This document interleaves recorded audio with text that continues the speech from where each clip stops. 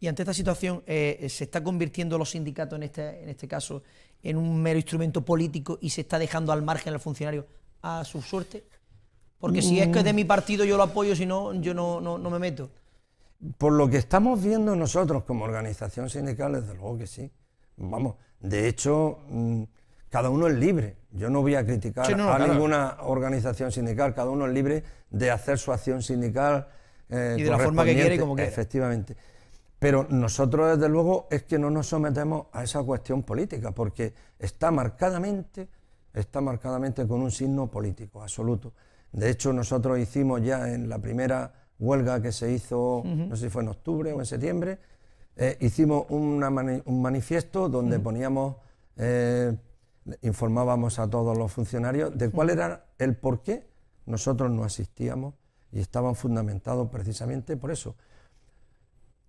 Ellos que fueron los que firmaron el, estatuto básico del empleado público, porque eso es un cheque en blanco que le dio estas tres organizaciones sindicales a la administración, ahora se quejan de que los tengamos, de que, de que los traten o nos traten como nos están tratando. Yo creo que en su día no debieron, no debieron de, firmarlo o estar de acuerdo y desde un principio pues haberse eh, opuesto en primer lugar a, a, lo que la Constitución dice, que la Constitución dice que se tenía que haber eh, hecho un estatuto básico del funcionario público. Y aquí se, ha reconvertido en el estatuto básico del empleado público. ¿Por qué? Pues muy sencillo. Resulta que estas organizaciones, algunas de ellas, no todas, pero sí la inmensa mayoría, estamos notando que tienen más representación en el ámbito mm, fuera de los funcionarios y que en el, en el de los propios funcionarios. Y además eso lo utilizan luego para reivindicar su, presencia en mesas, como por ejemplo la mesa sectorial de Administración General de la Junta de Andalucía, mm. donde UGT y comisiones obreras, UGT sacó el 5,47% de toda Andalucía ¿eh? y comisiones obreras no llegó al 1%. Y con los votos que les ha dado el sindicato del metal, el textil o las empresas ahora quieren hacer valer su presencia, en la mesa sectorial de la Administración General de la Junta de Andalucía. Y nosotros le hemos dicho a la Junta de Andalucía, pero vamos a ver, la implantación nos parece que es una cosa, y es que yo puedo implantar el sindicato donde yo quiera, pero luego están las elecciones. ¿Para qué hacemos unas elecciones? Si yo con el hecho de que me voten una serie de personas en distintos eh, centros o, entes o organismos distintos al de funcionarios. Ya tengo la condición de sindicato mayoritario, ya con eso ya puedo estar en todas las mesas, ¿para qué hacemos ninguna elecciones? Luego, por esa cuestión también vamos a, poner un, recurso ante los tribunales. Y, rompo una lanza a favor de la federación Mm, que nosotros tenemos hecha con el Sindicato Médico de Andalucía y con la Asociación de Profesores de Enseñanza Secundaria, APIA, eh, que en, las elecciones, en el recuento que tenemos de, las elecciones del 2011, del 2011 al 2012, nos daba un 11,74% de representatividad, con lo cual nos da derecho a estar en la mesa, general. ¿Qué es lo que está haciendo la Junta de Andalucía? Pues como somos una federación de, sindicatos independientes y profesionales, pues somos, no somos queridos. ¿Por qué? Pues porque ni aceptamos subvenciones a cambio de... Claro. Ni... Ni, ni, soy de la cuerda política en esta eh, cosa política. Ni aceptamos que nos den cientos y cientos de liberados sindicales, ¿me comprende? Para que le hagamos una firma al la propuesta que nos hacen. Y te puedo decir que yo estoy pensando muy mucho de que todas estas movilizaciones que se están haciendo, y lo leí, vamos, hace poco en, un periódico de tirada nacional, que parece ser que el Estado ya está reduciendo el número de liberados a estas... Sí, sí, sí. Y además está reduciendo todas las subvenciones, con lo cual a nosotros no nos afecta para nada, porque nosotros desde que hemos desde que somos organización sindical, nosotros somos como los europeos. vivimos de nuestras cuotas y, y, nos aplican la ley orgánica de libertad sindical desde el primer Pero tampoco podéis estar en las mesas porque os falta representatividad. ¿o No, no, no, no, no, tenemos representatividad, lo que pasa es que no nos dejan, no, nos quieren dejar, con la excusa de que son mesas extraordinarias. Entonces, ¿eh? os, puedo decir, y os lo digo aquí en exclusiva, y es que ya hemos presentado una, eh, un, contencioso administrativo ante la, consejera, precisamente por la, por la arbitrariedad ¿eh? de que teniendo derecho a estar, no nos deja estar como federación en la mesa general. ¿El defensor del pueblo, en este caso de aquí andaluz, ha dicho algo al respecto? El defensor del pueblo, el problema que, nosotros, bueno, el problema que tiene la, sociedad con el defensor del pueblo es que te da unas recomendaciones, pero que no son obligatorias. Entonces, que nos dé la razón, como nos ha dado ya muchísimas veces, y la el golpecito en la espalda. Muchas gracias, pero no me resuelve nada, claro, Pues la verdad es que dice, bueno, pues sí, iremos, pero ¿de qué nos sirve? Porque de hecho ya tenemos bastante.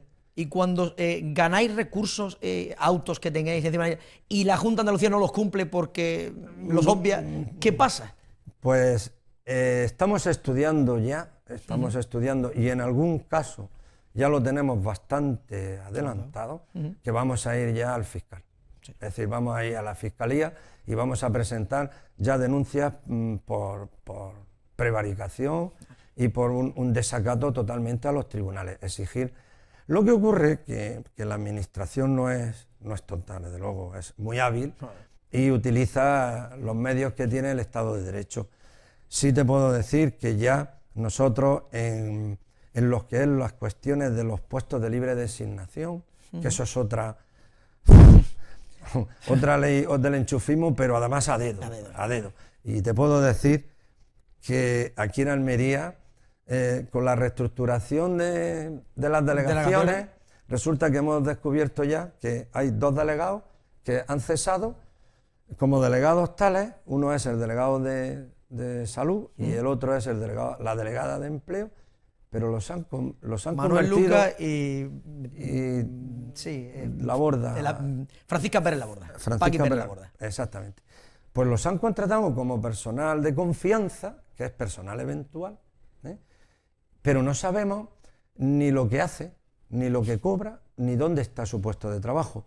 Este también es otro de los, de los frentes que hemos abierto muy recientemente, ya yo creo que es el primero que hemos hecho como Sindicato Andaluz de Funcionarios, porque en el resto de comunidades autónomas el personal eventual, vamos a ver, el personal eventual es el personal de confianza. es decir, eh, un alto cargo pues, puede tener, mm, hombre, lo suyo sería un par de asesores, pues yo qué sé, pues de imagen o de algún tema en concreto que no tiene los asesores en la, en la administración.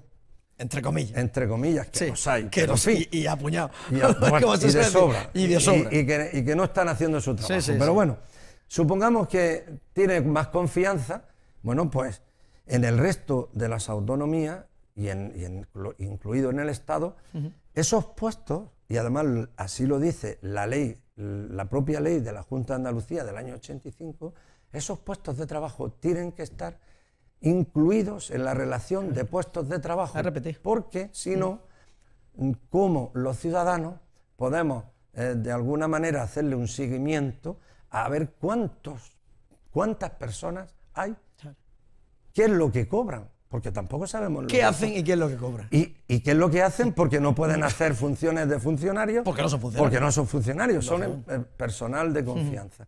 Luego, esta es una de las guerras que también hemos abierto ahora recientemente, y volviendo otra vez a lo, de los, a lo que vamos a hacer, es que en el caso de los PLD ya tenemos sentencias firmes del Tribunal Supremo y lo que vamos a pedir ya son a la Fiscalía. a la fiscalía. Directamente.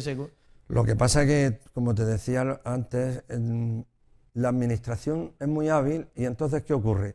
Cada vez que tiene una sentencia en contra, la recurre.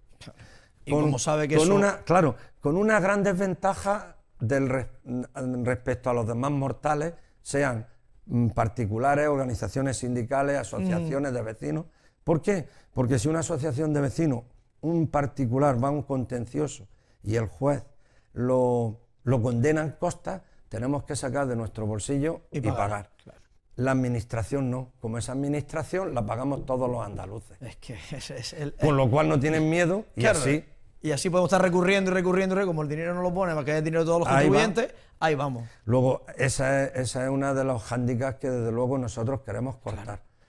Y, otra cuestión que sí que es verdad que nosotros estamos eh, y queremos cambiar, y para eso vamos a mm, nuestra idiosincrasia, eh, va a modificar eh, la manera de trabajar, y es que si el, funcionario, desgraciadamente, el político le interesa mm, que el funcionario esté denostado, porque cuando ocurre lo que ocurre, pues con echarle la culpa al funcionario le recorto el sueldo y como la sociedad dice, hay que ver estos gandules, esto no hacen nada. Pues entonces, miel sobre hojuelas. Bueno, pues si eso está denostado, imagínate los representantes sindicales de los funcionarios. Luego, esa es una tercera pata de nuestro ideario que, nosotros, por lo menos...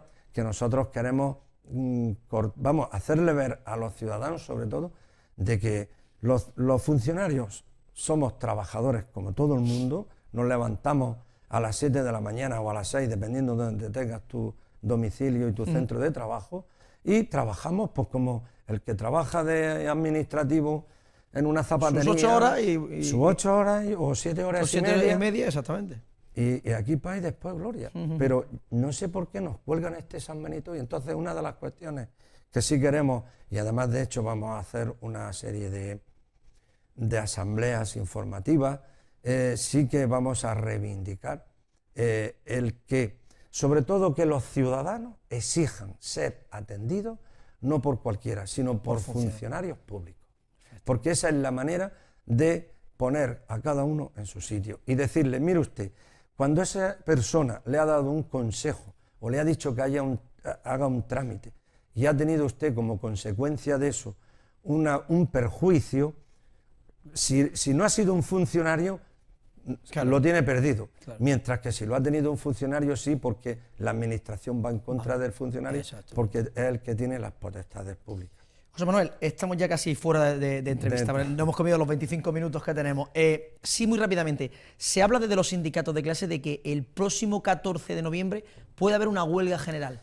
Ante esa situación, ¿cuál es vuestro sentir? Muy rápidamente. Pues nosotros, desde luego, mm, le hemos dicho a FASPI, porque ahora mismo quien más se están moviendo eh, son eh,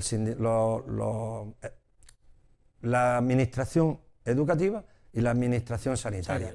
Nosotros le hemos dicho a nuestros colegas de FASPI que si nosotros nos tenemos que unir, nos vamos a unir para hacer fuerza común. Sabemos que eh, nos han dicho que por ahora no, porque las reivindicaciones que ellos hacen son muy distintas a las, a del personal de administración general, pero que nosotros sí que los vamos a apoyar en el momento en que nos digan que vayamos para adelante. Es una, es, desgraciadamente, es la única, es la única vía que nos deja abierta la Junta de Andalucía, porque los compañeros nuestros de Sindicato Médico y de APIA, en sus mesas sectoriales, han estado intentando negociar y no hay manera, no hay manera eh, humana de llegar a ninguna negociación porque la decisión está tomada. Y entonces es o lo toma o lo deja. José Manuel Mateo, presidente del Sindicato Andaluz de Funcionarios, como la conversación es magnífica y nos hemos quedado sin tiempo, para dentro de un mes mes y algo, antes justamente de esa posible huelga general, nuevamente por aquí para seguir tratando temas tan importantes como el que hemos tratado en la jornada de hoy. Pues aquí, no está, aquí estaremos a vuestra disposición. Muchísimas gracias por su presencia. A vosotros. Pues nada más amigos, hasta aquí la entrevista de la jornada de hoy. Como siempre, nosotros volveremos mañana martes a partir de las 9 de la noche aquí en Interalmería Televisión, el espacio de la entrevista. A todos nada más que nos queda desearles que pasen una feliz noche.